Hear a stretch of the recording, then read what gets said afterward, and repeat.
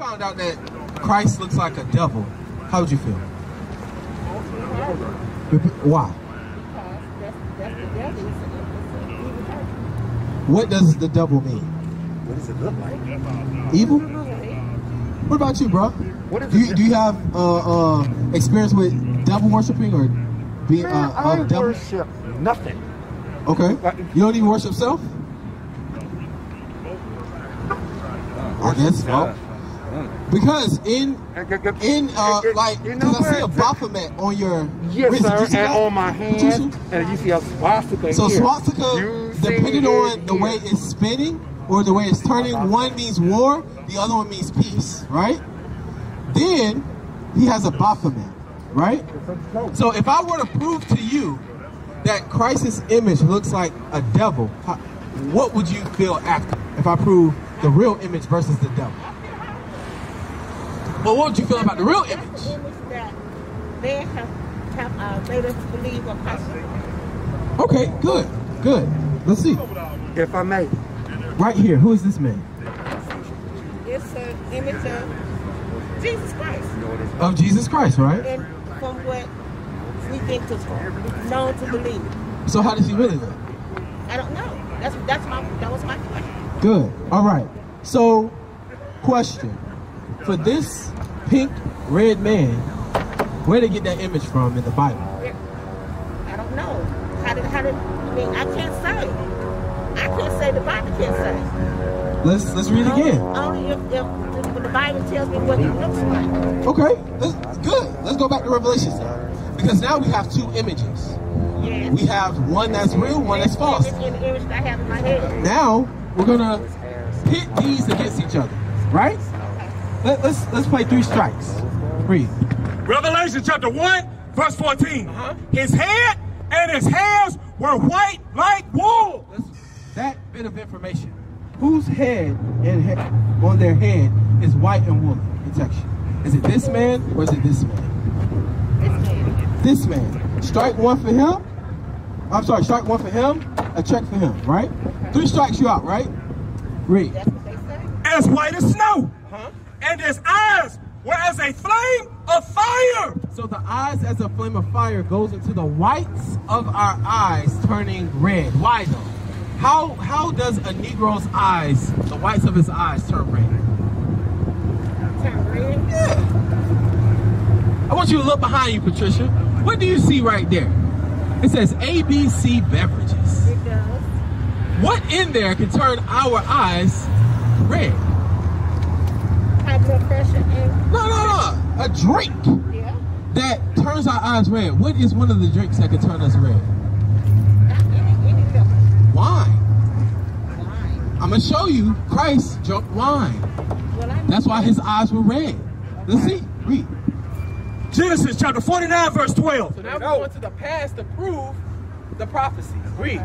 His eyes shall be red with wine. What? With wine. Read. And his teeth white with milk. So that red with wine goes into that image. Teeth white with milk goes into the laws are gonna be in his mouth. That's what that's going into. So, who has red eyes? This man or this man? Strike two for this image. Read. Verse 15. And his feet like unto fine brass. What color is brass, Patricia? It- It's brown. Good, good. Keep reading. And his feet like unto fine brass. Uh-huh. As if they burned in a furnace. So you remember the Yo Mama jokes back in the day? Where it's like you so black, like you burned in a furnace. Right. That's the first Yo Mama joke right there. Christ is so black, he burned in a furnace. That's how he looks. So again, who looks like they burned in the furnace? This man or this man? Keep reading. That we, he already struck out. And his voice as the sound of many waters. So a very loud man. We have this mic to emulate, but we don't need it. Hey, shalom, boss. We can, we can talk to you just like how Christ talked to the multitude of people. What's up, guys? So, with that said, Patricia, Uh, This the earlier man group should be heading back talk about loud. 12. when you when you see on I'm on the- TBN, I'm on the uh, what is that? The, the Ten Commandments. open at 12:45. How is he talking? When they brothers, the security Spirit soft, about Joel 12. Osteenish. So, Yes, sir. which one is the devil and which one is the Uh, image? And when I say devil, I'm just saying a uh, uh, deceiver or a liar. That's what a devil is. It's a deceiving spirit or a deceiving person. Same thing. Who is lying now? So you just learned, Patricia, that Christ's image is in the Bible. Right. We were never taught that though. Why would your enemies teach you or educate you on your history so you can be better than them? Tell me. Why would your enemies, meaning these people that took your ancestors into slavery, why would they teach us, the children of our ancestors, why would they teach us anything to uplift us if we're supposed to be subject unto them? Why would they do that? They don't want us to know the truth. Good. That's right. So if you're kept down from a lack of knowledge, you can't produce, correct? Then that's how you have the word nigga come about. Because you know niggard is a word. N-I-G-G-A-R-D. Means a stingy person. They created niggas here in uh, uh, Babylon the Great or United States of America. That's right. that those people were manufactured. You know why? They act all the same. Any hood you go to, a nigga is a phenomenon. It, it really is. It's like watching the Nature Channel and looking at a different species of man. It really is. Because it is a program of the mind. That's right. Instead of you knowing that your image come from the greatest man that walked the planet Earth, now you look at this man as your God, and what you're gonna do unto him. Be subject unto his laws, unto everything that he teach you without no question. But when somebody brings the real image, now you question the real image versus something that you were spoon fed.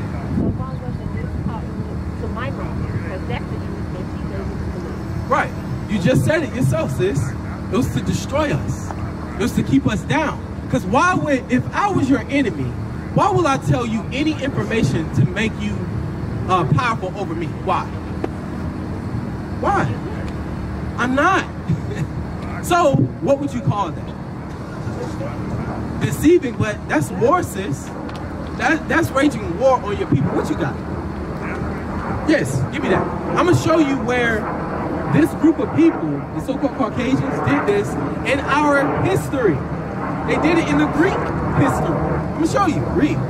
First Maccabees chapter 3, verse 48. And laid open the book of the law, wherein the heathen had sought to paint the likeness of their images. So at this time, we were actually physically fighting the so-called white man at this time. Right. We was fighting the Greeks. They ransacked our temple, took our Bible, and in our Bible we had the images of our foremothers and forefathers. They were black, uh, melanated men and women. But it says that they changed the images to theirs. Let's read it again. First Maccabees chapter 3, verse 48. And laid open the book of the law, So they laid open the Bible, wherein the heathen had sought to sought to paint the likeness of their images. So the heathen at this time were the Greeks. What color were the Greeks, sis? They were pink people. there ain't nothing white about them. Ain't nothing pure about those people. Like, for instance, what good thing has the white man put on this planet Earth? One good name one good thing that they done as a people. What name one good thing that that group of people you like, you know what? God sent them on the planet to do that good thing. Because I'm gonna tell you this, they will manufacture diseases and then have another team to say that, oh look, we're helping you with the disease we manufacture. Right. That ain't nothing good. That's called control. So, with that understanding, sis, read it again. First Maccabees chapter 3, verse 48. And laid open the book of the law, wherein the heathen had sought to paint the likeness of their images. So this shows you that the images that was written in the book of the law, that was painted, was not in the image of the Greeks. Right. It was of the Jews. The Jews are the so-called blacks, Hispanics, and Native Americans. Not no As- Ashkenazi uh, white people. It's not them. What they did to us, sis, I'm gonna show you. You done with that? Give me Deuteronomy 28. I'm gonna show you what they did because this is war. This happened during war. To change, what what is the first thing that happens in war? They take over communication, right? Isn't books a form of communication? So if you attack our written records and paint your images, what are you saying? What are you declaring against my people? War. But why do we think that we're not at war? Why do we? Why are we so comfortable here? We don't want to be, but we are. You're born in it without knowing it. That's the worst type of soldier. He don't know or she don't know she a soldier. You you born into war, growing up behind enemy lines, and they're teaching you. That is deadly, sis. That's very deadly. But that's how we gotta think of it. Give me Deuteronomy 28, 68. No, 15 first to show the ramifications, then 68. Read. Deuteronomy chapter 28, verse 15. But it shall come to pass, So it's going to happen. if thou wilt not hearken unto the voice of the Lord thy God, There's a paradigm, meaning there's one reality that we were going to do God's commandments. There's another reality that we're not. So God is showing this reality, y'all are not going to keep my commandments. What's going to happen? to observe, to do all his commandments Read. and his statutes, which I command thee this day, Read. that all these curses, All these what? curses, Is a curse a good thing or a bad thing? It's bad. So all these bad omens got are going to come upon us and do what? shall come upon thee Uh-huh. and overtake thee. So it's gonna overtake us entirely. That means consume us entirely. To the point where you're so cursed, you don't even know you cursed. You're so cursed, you're calling yourself blessed. That's how messed up we're gonna be as a people. Are we doing that today? Because it's, it's the same thing from Rodney King. No justice, no peace. Was back in Rodney King's time. Right. And I, I thought it's 2022. Why are we still using the same tactics that we did in the 50s, in the 60s, in the 70s? Teach, Bob. That means nothing has changed. The decades have. The laws in which they implement certain uh, racial divides have changed. But has anything really changed? No. You still a nigga. Rich, poor, you still a nigga. They just call you different. For, for somebody to call me black is an insult. It's an insult. Nigger or Negro means what? What's the difference? That's an insult. You calling me a color, not the people that I come from. Right. And then I ain't black, I'm brown. We ain't black. His boots, black. His beard, black. That mask you're wearing, black. Your skin color, brown. But we call ourselves black people. We're misidentifying even ourselves by listening to who? Our enemies. That's right. But it, it takes a real person to wake up and see that. Keep reading. Deuteronomy chapter 28, verse 16. Cursed shall thou be in the city, Uh-huh. and cursed shall thou be in the field. So in the city, in the urban, we're gonna be cursed. In the fields, in the country, we're gonna be cursed. There's less than 2% of farmers that represent us. And you know that Monsanto is sending them fake seeds so they can't even grow? They can't grow their crop on time? Did you know that? So we're we're at a disadvantage even in the field when it comes to that. When it comes to property, when it comes to health, nutrition, we're at a disadvantage in both the city and the country. So you can't tell me that this Bible ain't us. You can't tell me.